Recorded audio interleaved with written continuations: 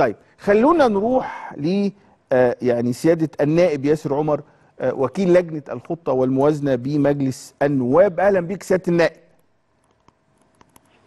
سيادة النائب أهلا بيك يا فندم. أيوه يا أستاذ محمد. أهلا بحضرتك. أهلا وسهلا. يعني أنا بتناقش بس مع السادة المشاهدين في نقطة مهمة جدا وهو لأنه ناس كتيرة ممكن ما تبقاش مستوعبة أبعاد موضوع الطروحات في البورصة والحكومة بتطرح شركات وهتطرح شركات أكتر.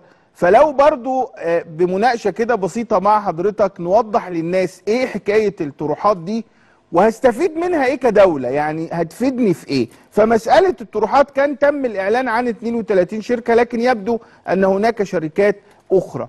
الملامح الأساسية للطروحات القادمة إيه يا فندم؟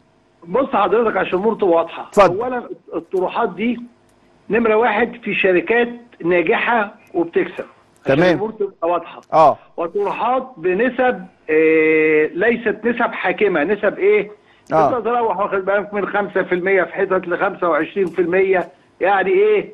يعني ال- نسب آه، معقولة وال حتى هذه اللحظة الإدارة بت... إيه بتاعتنا إحنا في مصر الطروحات دي هتدخل عملة للبلد.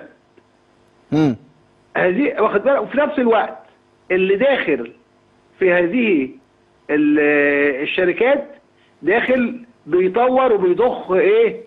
سيولة في شرايين هذه الشركات. تمام. هيزود عم- عمالة.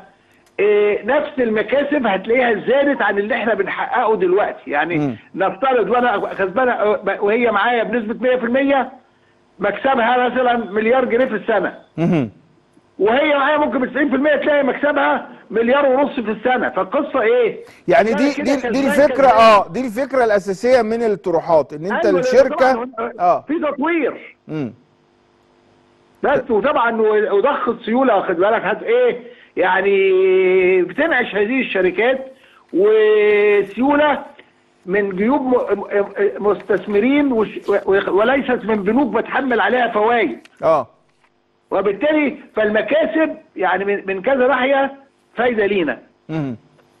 طب انت ال- ال- الطروحات دي لأنه في لا في أحيانا مش عايز أقول لبس ولكن الفكرة ما بتبقاش واضحة عند ناس كتير جدا. فكرة الاستثمار لأنه الناس يقول لك إيه ما هو أنت الشركات دي بتنزلها وناس هتيجي تشتريها وانتوا بتبيعوا البلد وانتوا مش عارف إيه فكرة لا. الاستثمار أيوه ما إحنا ده بنوصل الكلام ده الكلام ده كان يتقال زمان مش هيتقالش ما دلوقتي هو والله. لسه بتقال لسه بتقال وفي ناس يعني طبعا. بتحاول تعلي منه فاحنا بنحاول نشرح هذه الفكرة إنه الاستثمار لا لا طبعا آه. اولا الطروحات دي هتكبر البورصة بتاعتك تمام هتجذب مستثمرين يعني سواء من دول المنطقة أو مستثمرين آه، من دول من دول خارجيه. طبعا المستثمرين من دول المنطقة اللي هم العرب. تمام.